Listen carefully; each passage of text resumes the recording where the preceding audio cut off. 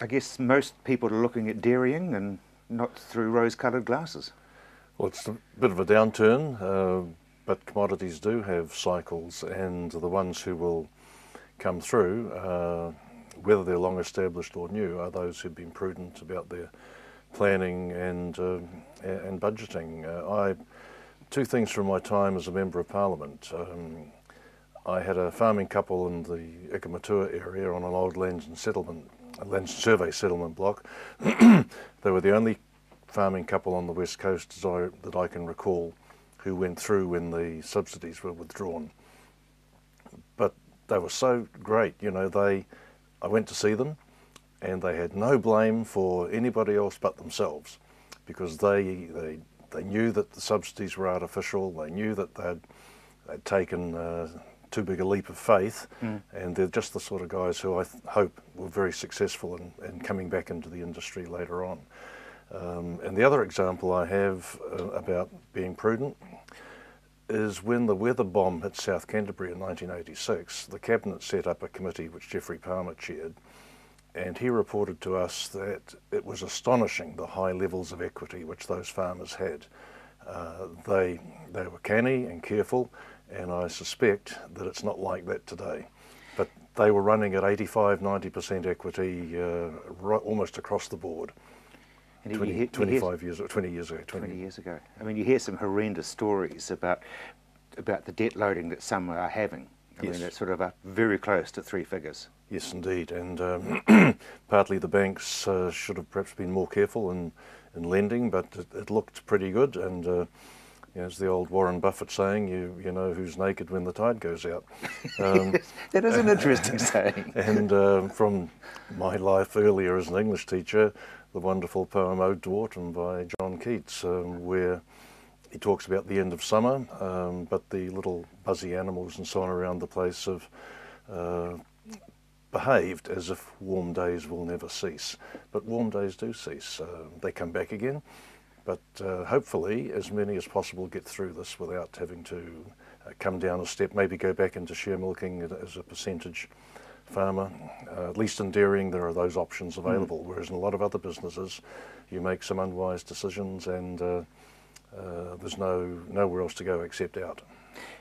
People naturally will want to blame somebody, and I guess people will blame the banks. But you know, if, if you're obese because you buy a whole lot of food, you can't blame the grocer, can you? No, you can't. No, no, you can't. And, and the blame lies um, in many places. Perhaps uh, is not into sufficiently into value-added uh, commodities, uh, um, but markets anticipate events. And once the European Union people looked around the world and thought, well, all these guys are going gangbusters producing, and we've got our farmers on uh, on tight uh, controls and limitations. Just the very mention that they were going to withdraw those, immediately no more increase in production but the very mention that their subsidies uh, and their, their uh, production level regimes were going to be amended, that, that affected the market. Yeah, I mean, it, I like the idea that you're saying go back. You know, I mean, if you're over, if you're overdone, if you get out, start at the bottom again and come back up.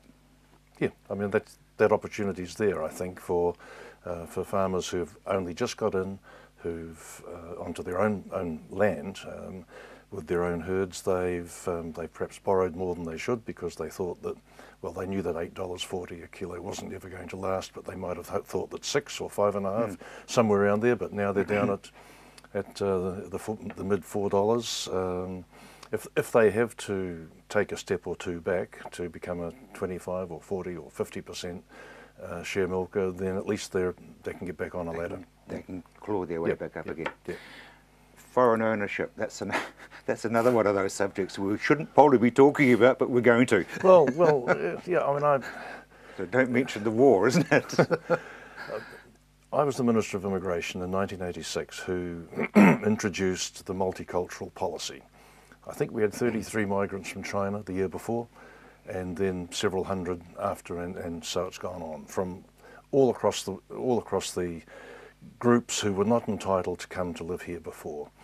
Um, so, you know, I don't have any issue with multiculturalism and the migration from those various countries. I think what the issue has been is that some people in countries like ours, uh, Britain's another example, where wealthy people in other countries see that as a sort of currency hedge where they put money into more stable markets. The classic example in London would be uh, Russian billionaires. They, they, buy hugely valuable properties there. So do people from the Middle East, where because there's political security as well as financial security in uh, Britain, as there is on our own scale in New Zealand. And I just thought that if 40% of uh, the buyers in a particular period of time, three months, whatever it was, uh, people who appear to be from China, uh, whereas the Chinese only make up 9% of the Auckland market, and most of them are actually below the median wage. So they're not the people who are buying the highly valuable houses. I just reckon that that's an issue and it's got to be looked at. We just um, we wouldn't be able to do that in China. They can't do it in Australia.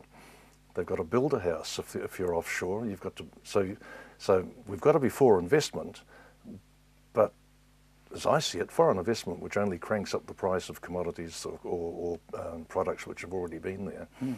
is not the best sort of investment. We should be looking at investment coming into new, innovative activities which grow our economy, not just by what's already there. Because our, our dollar and interest rate has been very, very good at making sure that a lot of overseas funds are coming in. Yes. I mean, yep. we, we were more financial than we were production-wise at one point. Yeah, I mean, we, we've got a free economy, and, uh, you know, um, when I was in the cabinet, we floated the currency, and now everybody's going around saying what a great thing this floating currency is because it gives us the, the buffer, it falls um, as adverse events uh, occur, and it rises when times, uh, times are better. So uh, I'm, I'm all for that kind of flexibility, um, and uh, that, that is a good thing for the economy I'm a bit confused about about this this sort of witch hunt in Auckland at the moment, and if you've got a Chinese name. I mean, there's Malcolm Ching is a, he is a New Zealander yes, from, yes, yes. you know, he looks like me. So yeah, that that's was that sort of a publicity stunt, or what was behind that? No, well, I think I think there is a genuine issue in in Auckland and the property market with um, with buyers from offshore who don't intend to live uh, in New Zealand and who um, they might have their kids at school or university down here for a period of time. Um, and then the capital gain when they sell and go, um, that's covered all the university fees or all the tuition fees. Now, at least they've been occupied, but there are places there which are being bought by offshore investors which are not occupied. They're, ju they're just there because in Auckland last year prices went up 150,000 a year. And so they're buying it, leaving it, and getting the capital gain. Yes, yeah, yeah. Yeah, so, I, yeah, I can understand that. But uh, well, it's good if good if you've got the money to get in there, and, and if you can. You know, but we, we we would not be allowed to do that in China. In fact, we're not allowed to do that in many other countries as well. Mm. You've got to be a mm. citizen or a resident, or, um, or, or have some entitlement. Because is there a is there a solution to that Auckland market going up and up and up? Um, it has happened before where it's crashed here. Yeah. It reaches a point. Uh, I can recall in the 90s there were places. Um, which had been on the market for three quarters of a million. Uh, that's just a run of the mill price now, but they were top of the market then. There was a crash somewhere about 94, 95, and they were then being sold for 350, 370. So it does crash. And Whereas for no reason, it, it, would just seem it has got to the top of the market and then boom. Just gets to the, yeah, that's right, yeah, just um, like all commodity cycles, or, housing is a commodity, but um, normally housing is better, uh, and for most of the New Zealand, it, it's fine. I mean, the, the, it wobbles sometimes, but generally it, it, it, it, increases in value more slowly but consistently. But Auckland does tend to rise and, and fall. Have we got the, the, the, rural farming ownership sorted out for foreign owners? Um, I don't know. That'll be a matter of ongoing political debate. I'm pretty sure about that. Uh, um, where where a foreign buyer can add value, uh, to New Zealand's basic infrastructure and industrial and commercial infrastructure, then then that should be allowed. Mm. Um, but by adding value, I don't mean buying a house and painting it, and then uh, you know, that, that that's that's that, not what I mean. That that. Has, but but yeah. if you can bring new technology. Um, I mean, we're allowed to invest in many countries in the business world, but not less so in farming. Um, but if there are people offshore who can bring skills and talent and innovation to to New Zealand industries, including agriculture, then then we should be doing that. Wonderful. Thank you very much indeed. Cheers, Rob.